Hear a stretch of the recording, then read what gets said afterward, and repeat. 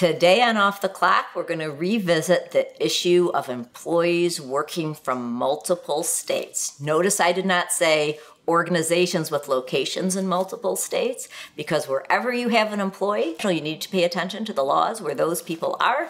And we're going to have some fun today talking about some different state and local laws that you might not have known about.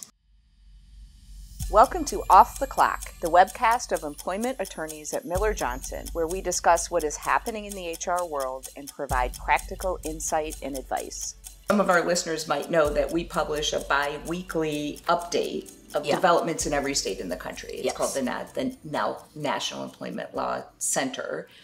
And every time I get that, I of course read it every two weeks. And of course you It do. goes through each of the states in a very concise, reader friendly manner. Every time I get it, I chuckle to myself about some new law in a state, right? And I think, oh my gosh, how are HR professionals supposed to keep track of and comply with all of this? And the reason it came to my mind is whenever I have a separation agreement, an employee termination, yeah, uh, right. whatever, an employee agreement, a non-compete, whatever it is, policy review. I have.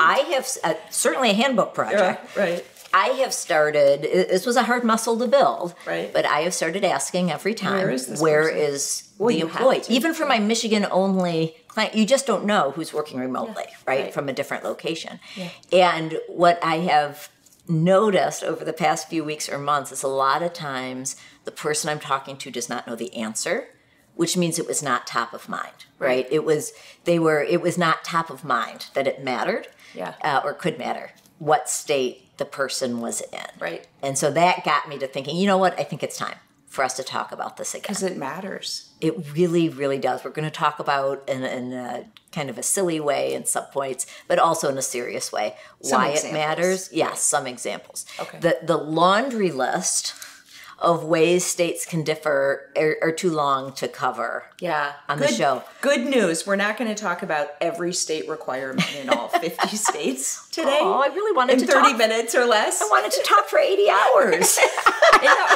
right. I wanted to hold you captive right. here for 80 hours and go right. through all 50 states. Yes, I've got charts for certain categories of things. We're going to talk, for instance, about paid leave. That's going to be a category we're going to go through okay. and give lots of examples. And we're going to talk about lots of examples with asking for wage backgrounds yeah. because that's a big, or wage history, I should say, that's yeah. a big uh, topic right now where there's lots of differences mm-hmm. uh, amongst the states. Uh, but when I went to print, both of those charts at home using my own ink, so that's important.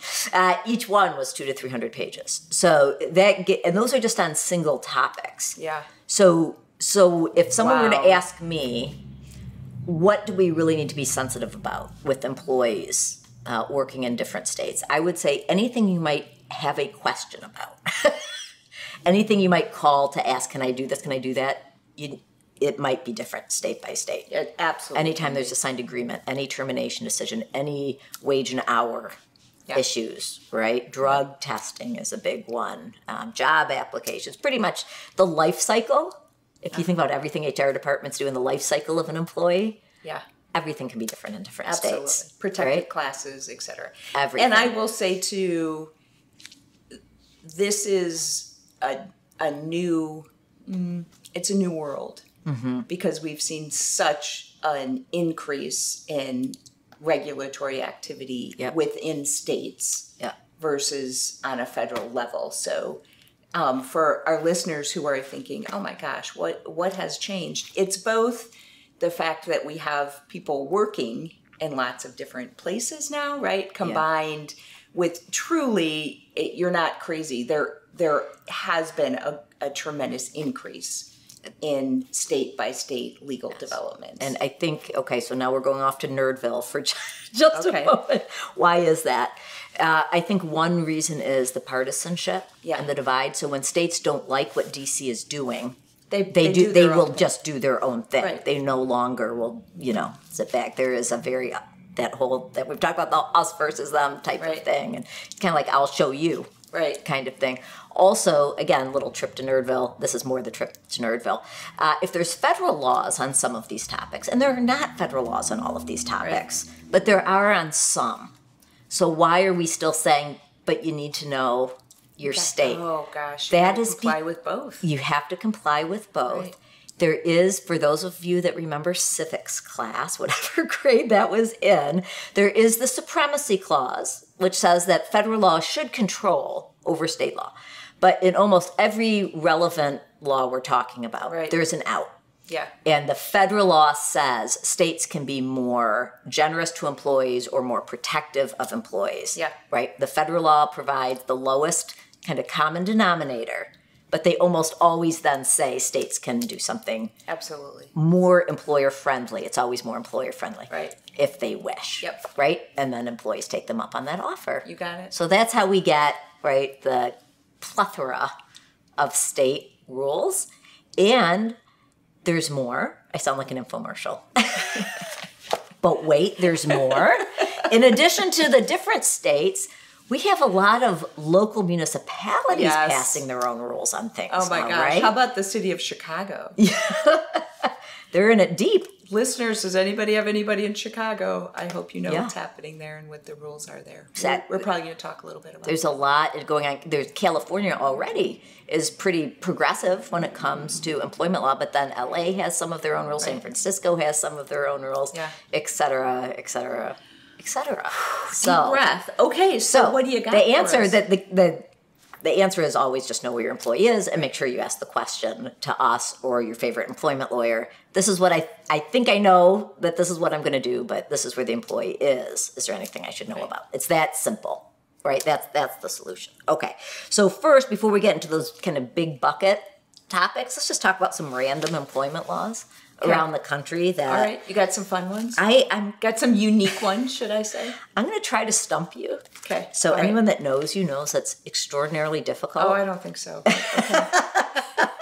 I did not show you my notes before I know nothing about because I wanted to see if I could surprise you okay. on some things because I know you do a lot in the multi-state area. I do actually. Yeah. Okay, so here's some random employment laws. Okay, I'm ready. Did you know, Sarah, that in Maine there is a video display terminal law. So in Maine, employers are required to provide training on how to set up an ergonomic workstation to all employees who spend more than four hours a day sitting at a computer. Did you know? I right, that is required that. training in Maine. Okay. okay, so I got one. That was easy. it was easier than I thought. In Iowa, in Iowa, employers must provide veterans with holiday time off for Veterans Day. It can be paid or unpaid, but they must provide time off for Veterans Day if the employee is a veteran.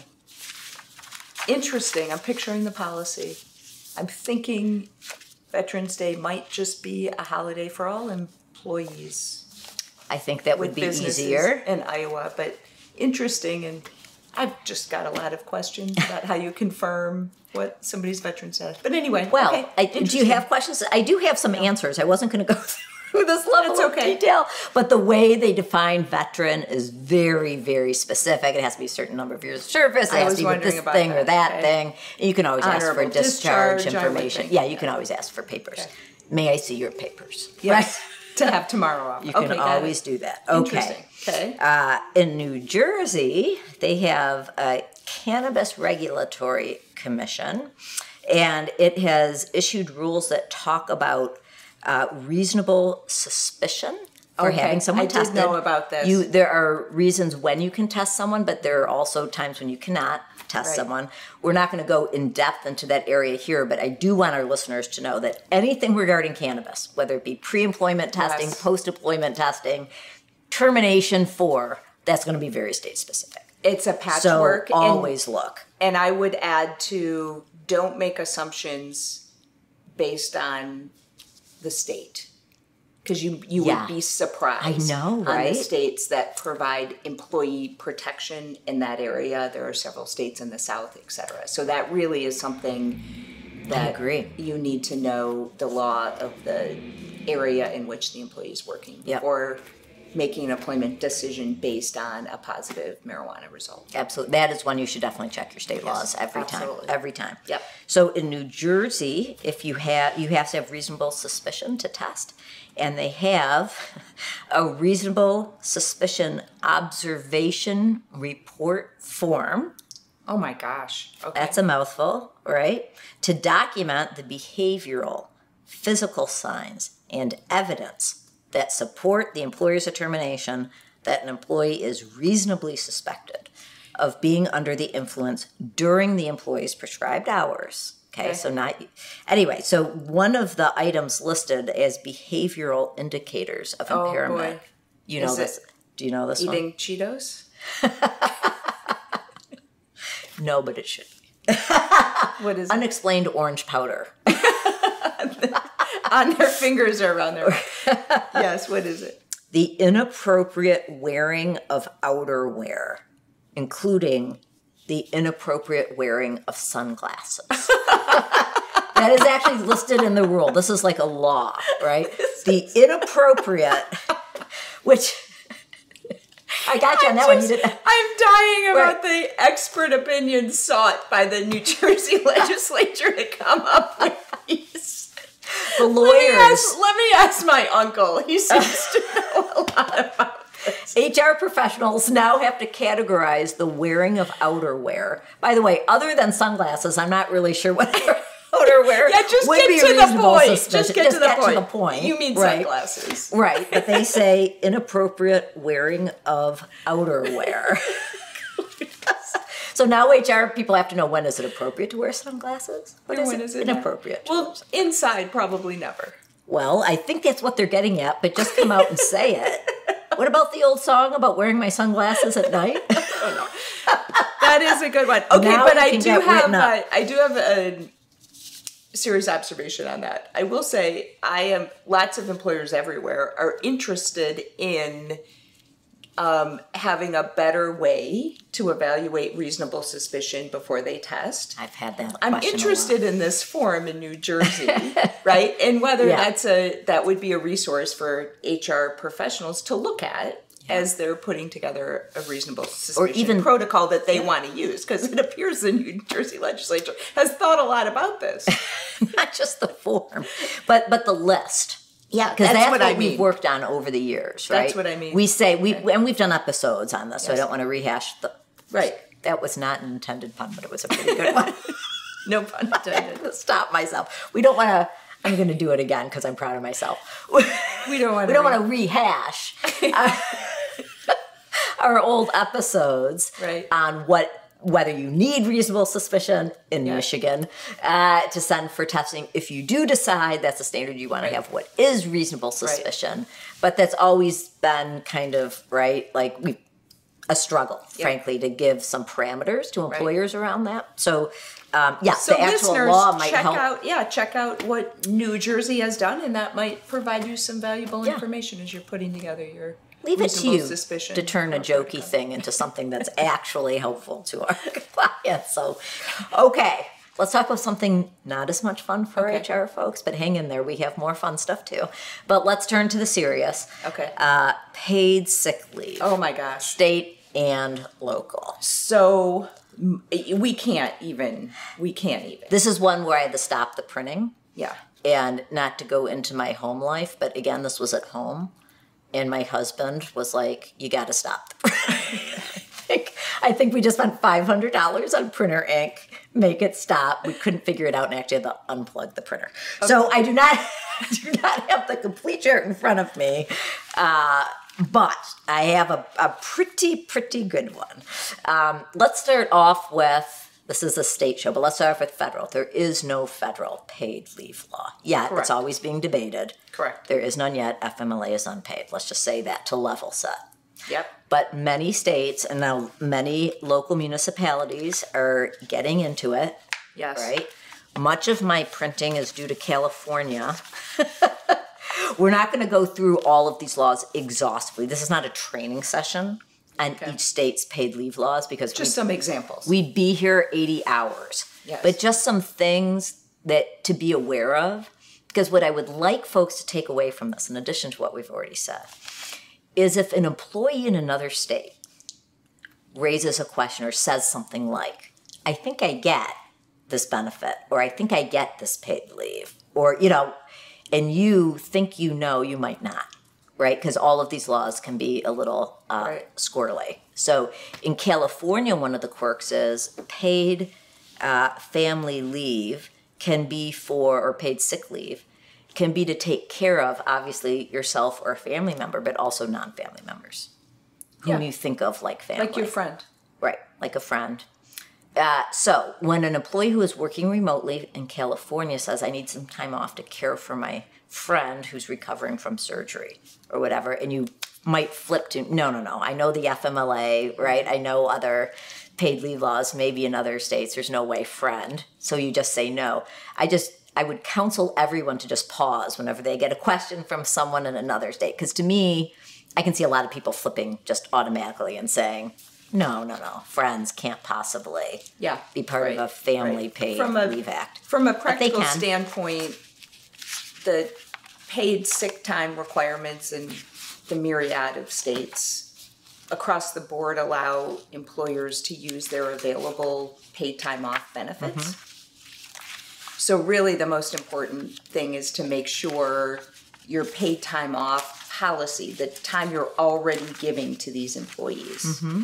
is tailored to meet the specific requirements of each of those states, right? So for example, the what you just said in California um, would mean to me that employee is just saying, I want to use a PTO day to care for uh, truly Right, yeah. to care for my friend. Mm-hmm. Um, and that would probably be okay with the employer. We just need to make sure the policy is in line with that.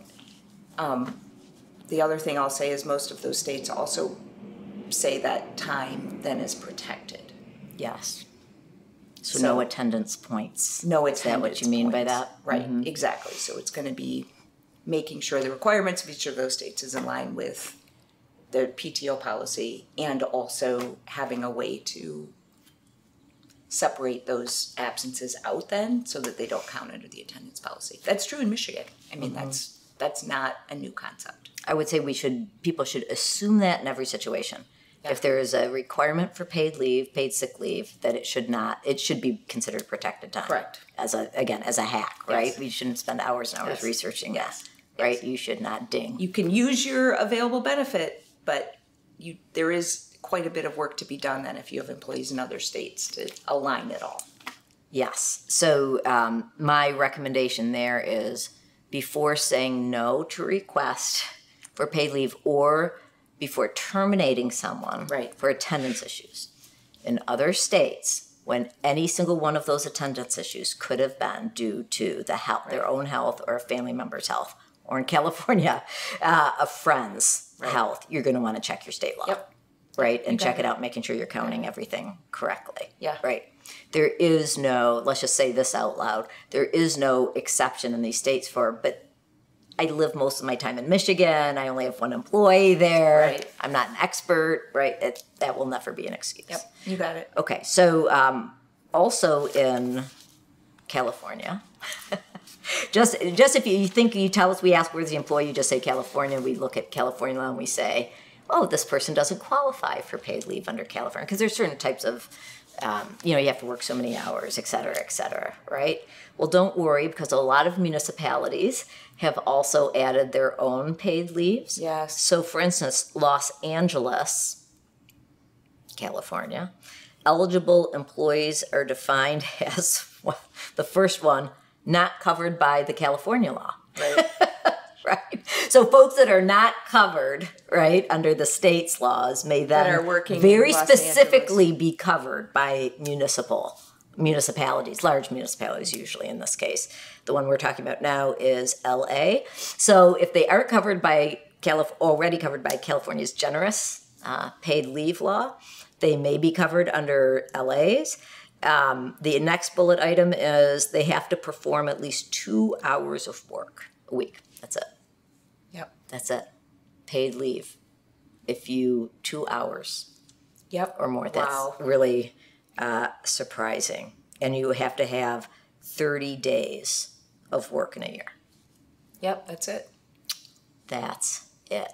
That one that was really surprising to me. Just uh, which employees are covered. So there are some examples. That's a great example because I can states. easily see a business who has a PTO benefit, but mm-hmm. it wouldn't be available to the person in LA, and the business probably has no idea that yeah. they are not in compliance with that. Right.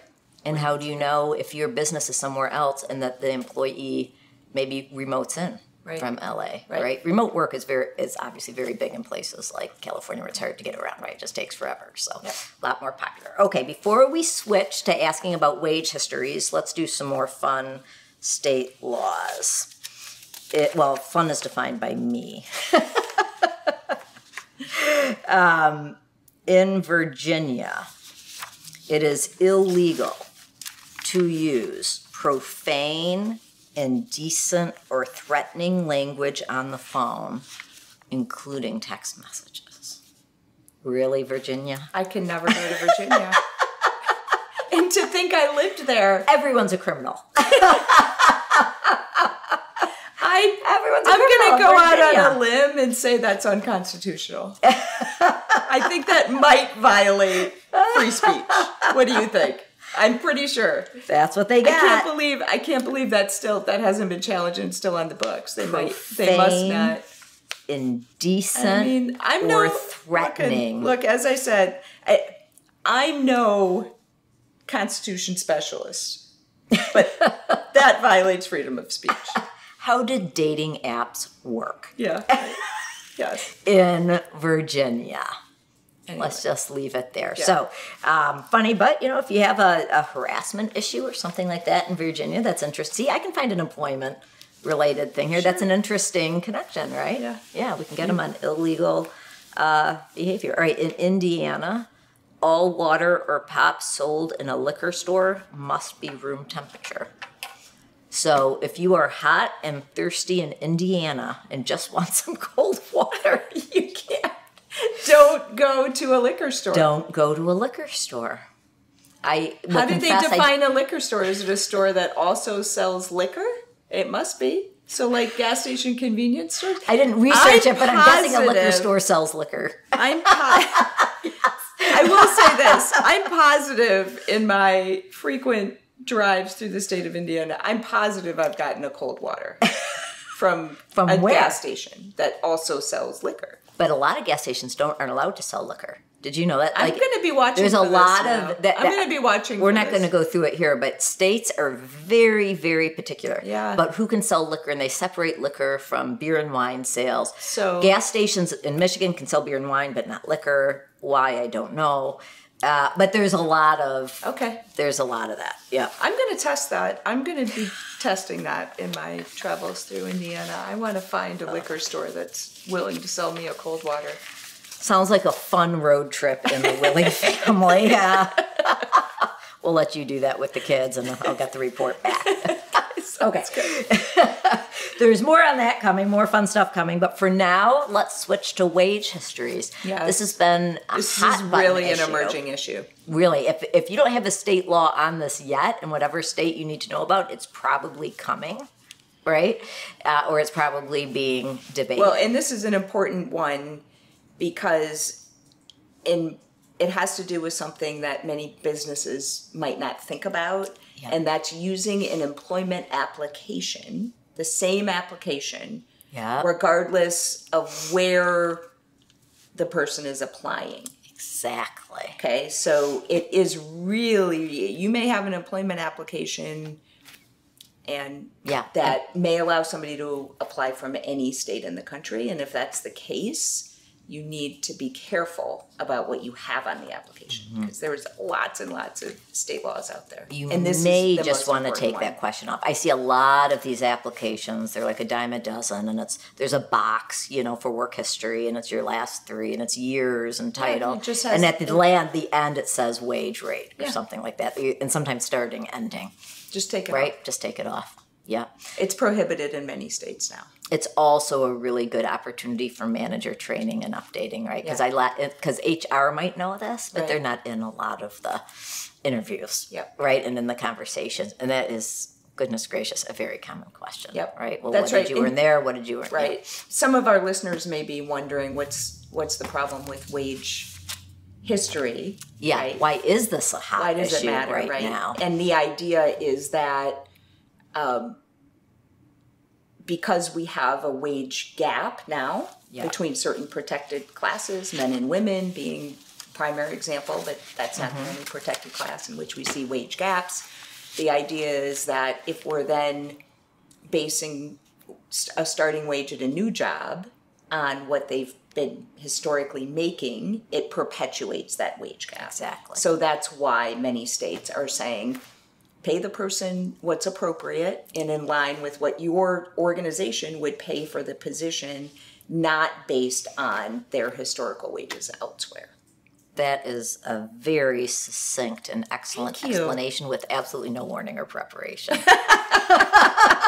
I can really talk Are you a lawyer? crap off the top of my head. Are you a lawyer? That's exactly Oh, wait, you are. Yeah. All right. So, um, so let's talk about Connecticut. We can talk about, frankly, there's lots and lots of states that have rules like this, but I'm ju- just Connecticut, just As an example, randomly Sure. as an example. The first thing to know is that when we talk about asking, but they almost all talk about when you can ask for wage history Yes. and when you can't. State laws dis- define what a wage is very differently. So, does it include commission structure, for Right. instance? Does it include bonus structure? Does it mm-hmm. include all of those things? So, you have to uh, think about that. In Connecticut, you cannot inquire about a prospective employee's wage or salary history. Those are Okay. separate, and you cannot direct a third party to make an inquiry. Oh, interesting. So think about this is why I like Connecticut as an example. Think about your hiring services, your temp agencies, your Right. recruiters. yeah, Right? We all use those. I mean, recruit. We use them. Yeah. They almost always say what the candidate earned or is earning Right. at their current place, right? You cannot have them do it either, right? There are key exceptions for almost all of them, almost all the states that I have familiarity with. They almost always make an exception if someone voluntarily discloses. So they're not asked and it's not a required, but if they say, because they might have a salary demand, That's right. right? They might say, "Look, I'm making X. fifty thousand here, so I'm not going to come over Right. unless I'm making at least fifty-five for you." Right? Yeah. That would be an example of I, a voluntary disclosure. That would be okay, and then you can take that into um, account. Right? In Connecticut, you can inquire about other elements of a prospective employee's compensation structure, such as commission structure and sales, as long as you don't ask for the value of those other elements. So you can ask about the commission structure. Uh-huh. What is the um, what is the percent of variable, non-variable in your compensation, for Right. instance, right? But you can't ask and What did you was your Yeah. salary, right? Or commission. And Yeah. commission, right? Or set, right? You can't ask for the actual amounts, Yeah. right? You can just ask for the structure. And every Larry, I, I, you you need to look at this. Um, in every state, I would I'd same recommend just take it off the application. Tell your managers and supervisors not to ask. Something else that's related to this is wage range uh, notices in your In postings. postings. Yes, you have to say Many states now again, very state by state. Many states require you to post the wage range of the position Yep. in the If you're advertising or posting a position, you have to. Yes. In some states, in But many states, you don't to. almost don't we all almost always use Indeed or LinkedIn or things? Those are um, right. Kind- So so you may want to get in the habit of choosing the lowest common denominator, which is doing it right, even though it's not required in the state you're at. That way you don't have to worry about getting nabbed So on those sort of things. yeah. If I was a plaintiff's lawyer in one of those states that prohibited, it'd be like shooting fish in a barrel. Yeah. Right? I just go on Indeed. Yeah. and I'd find all the ones that didn't have the postings and then I'd do a class action and and make a lot of money. Okay. Another, well, we're, I'll just say one thing. Yes, please. On employment applications, another hot thing is inquiries about criminal background. Oh, that yes. varies across states too. So if you have that question on an application and anybody is filling it out outside Yep. of, it might have been vetted for Michigan law, for example, but if you've got anybody applying from other states, you really need to have somebody take a look at that. Yes. Yes. It's that's all a- over the place. What you the- can, whether you can ask at all, Yeah. You can ask what you what you can ask specifically. You might want to just consider taking it off completely. Just again, lowest common denominator Yeah. if you're a person that advertises. if the goal nationwide. is to be yeah. Yep, yep. And, and, and and footnote there, because I get a question on this every time we mention that. You, depending on your state laws, but in many cases, you can still consider criminal background when making the ultimate hiring decision, right? Or you can make, in some states, make a conditional offer and then get the criminal background, Right. right? And revoke if there is something Yes. that's concerning and job related. It doesn't mean you can't ever learn that information, but it, a lot of states don't let you put it on the job On the application. to screen people out Yep. automatically on the front end. Okay, let's talk about some other state laws that you might not have known about. In Massachusetts, remixing the national anthem is unlawful. I know that was another one of your weekend Never activities heard- coming I've up. never right? heard a remix of the national anthem, but I'm glad to hear they are ahead of that. So, at all the they are ahead of that. every once in a while there's a kerfuffle, right? At a major sporting event. Not in Massachusetts. Now I know why it's never in Massachusetts. But every once in a while, everyone knows what I'm talking about. There's a kerfuffle, right, with a major pop star or someone, right, musical artist, Yeah. doing the national anthem, yes. remixing it, their word, in a way that offends They are some people. They are ahead of it. Yeah. Uh, this is also going to kill your weekend. In New Hampshire, you cannot collect seaweed at night. Go for it during the day, I just but at night, why, I Sarah? don't know. Well, why? that's what I was going to say. Behind every law is a story. Yes. Really, and I firmly believe that. And I just will be spending Yeah. I'll be spending the next few days trying to think about what the story might be behind that. This is um, Vermont has one of my favorites. We could go on and on with this stuff, but Vermont has one of my favorites as a child that grew up in a home where all laundry was dried outside. Oh boy. And now in a lot of areas it's prohibited, right? Clotheslines, clo- yes, because it's unattractive, whatnot. So in Vermont, they're very pro renewable energy. Yes. And they have laws that relate to that. Do they protect the clothesline- of laundry on the line? Is it defined as an energy device based on renewable resources. so in Vermont, you are protected. You get energy credit and you're you're protected for hanging your clothes You can hang your clothes out on It's your your right. clothesline because it's It a your it's a renewable Uh-huh. resource. All right, cool. Essentially, so go hang those towels out. Go hang your undies out on the line and see if anyone complains. If they do, it's Yeah. your right. It's my right renewable energy source, the sun and the air. All right, that's actually not funny. But anyway, Vermont makes me laugh always. And California. All right, well, this was awesome. Uh, takeaways are know where your employee is before making any employment Yes. related decision. And in policies and job applications, contracts, things like that, Yep. think about modifying for the lowest common denominator if you cannot control where people are when Right. they see them or sign them, Right. right? Okay. Thanks, Sarah. Thanks for the laughs. It was fun. It was.